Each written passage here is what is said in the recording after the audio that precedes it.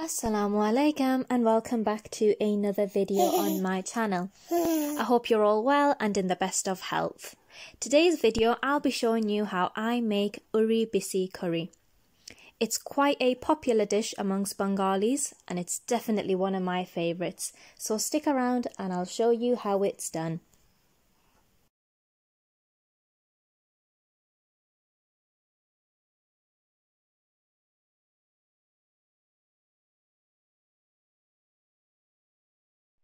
So we're going to start off with the ingredients. I have white fish.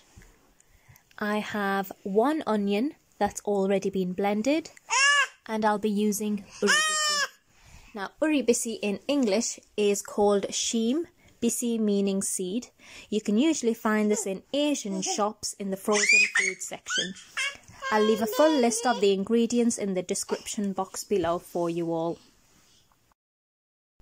So you're going to start off by boiling the uribisi for about 20 to 25 minutes.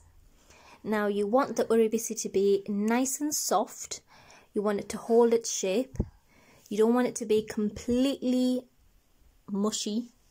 Otherwise it will just melt with the curry sauce.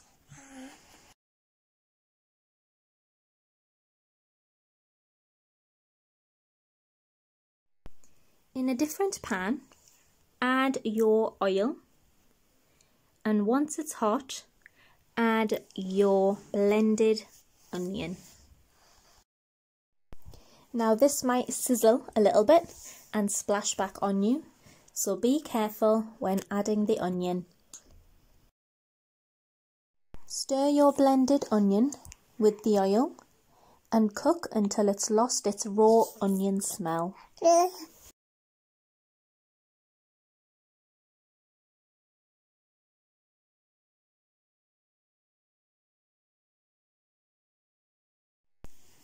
Add one teaspoon of salt, not heaped.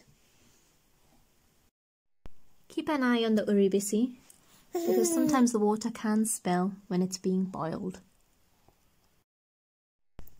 While you guys are here, check out my other videos. I upload every Friday. I do a lot of different recipes and I try and make it as easy as possible, perfect for beginners. So now I'm going to add the spices. So we're going to start off with turmeric, then chili powder, and lastly coriander powder. Give that all a good stir, mixing it in with the onions and the salt. Let the turmeric cook. You want it to be a nice fluorescent terracotta colour. You want it to lose its yellowness. So it should look like this. At this point, you can now go in and add your uribisi that has been boiled. Once you've added the uribisi, mix it in with the sauce, add half a cup of water and let it boil. Once you've added water, make sure you keep stirring because what can happen is the water just sort of rises to the top whereas the onions and the spices and the bisi just sit at the bottom.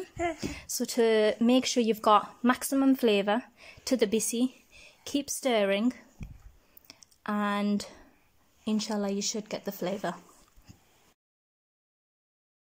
The fishes you can use for this curry would be tilapia, basa, cod, salmon. So I've used basa fillets because it is boneless but you can use any of those other types of fishes as well. Now with bassin, it is quite tender because it is boneless. So when you're stirring, you need to be quite careful, otherwise it will break. You want to carefully place the fish fillets in the curry. Like I said, be careful as they are quite tender and they do tend to break easily. Boneless fish is a lot easier to cook. Once it's actually in the curry, I would say it's about 15 minutes on boil and it would be ready.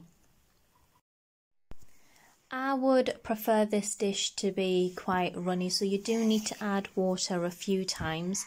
The bisi can soak up all the water, making it really dry. So in this dish itself, I added water twice.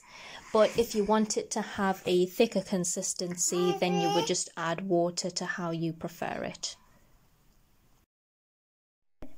Once you have allowed your fish to boil for about 15 minutes, your fish curry should be ready to serve. The best way to check if it is done is to cut one of the fishes in half and if it's got a white colour inside then you know it's cooked. You can now sprinkle fresh coriander and it is ready to eat. The best way to have this curry is with plain white rice. I hope you guys have enjoyed this video. If you have done, give it a big thumbs up. If you haven't subscribed, please do so. Go check out my other videos and inshallah I will see you in the next one. Thank you for watching. Bye.